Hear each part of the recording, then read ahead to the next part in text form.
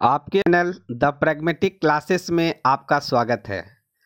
आज के इस वीडियो में आप लोगों के लिए बहुत ही बड़ी खुशखबरी लेकर आया हूँ। एस टी ई टी उम्र में आठ साल की छूट मिली तो बहुत कम बचेगा। सेवा काल इसी कारण से राज्य सरकार, बिहार द्वारा माध्यमिक शिक्षक पात्रता परीक्षा एस टी ई टी के अभ्यर्थियों को अधिकतम उम्र सीमा में आठ साल की रियायत नहीं देना चाहती है।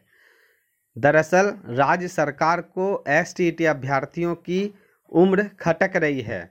उन्हें लग रहा है कि अगर हाईकोर्ट के फैसले के मुताबिक उन्हें अधिकतम उम्र सीमा में आठ वर्ष की छूट दी जाती है तो नियुक्ति पाने वाले अभ्यर्थियों में बड़ी संख्या में ऐसे होंगे जिनका सेवाकाल महज दस से पंद्रह साल का होगा और रिटायरमेंट के लिए शिक्षकों की उम्र सीमा साठ साल है।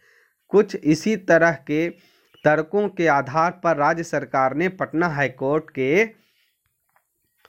एकल पीठ के फैसले के विरुद्ध अपील दायर की है। शिक्षा विभाग के आधिकारिक सूत्रों के मुताबिक सरकार एस के लिए अभ्यर्थियों की अधिकतम उम्र सीमा में छूट को व्यवहारिक मान रही है।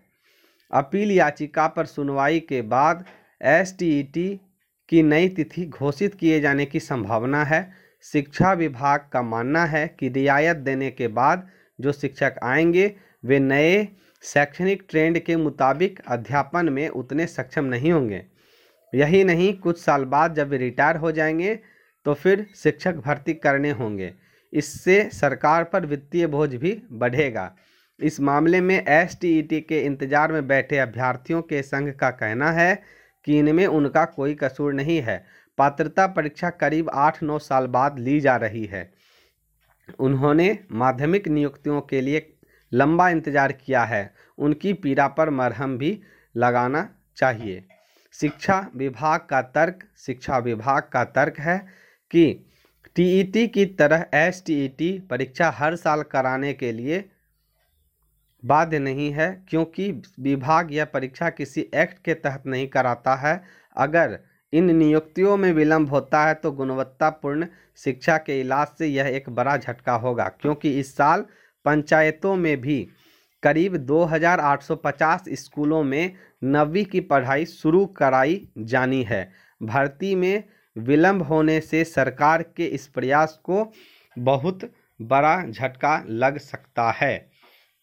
तो दोस्तों, जो एसटीटी की तैयारी कर रहे हैं, वे तैयार हो जाएँ, क्योंकि जल्द ही एडमिट कार्ड जारी कर दिया जाएगा।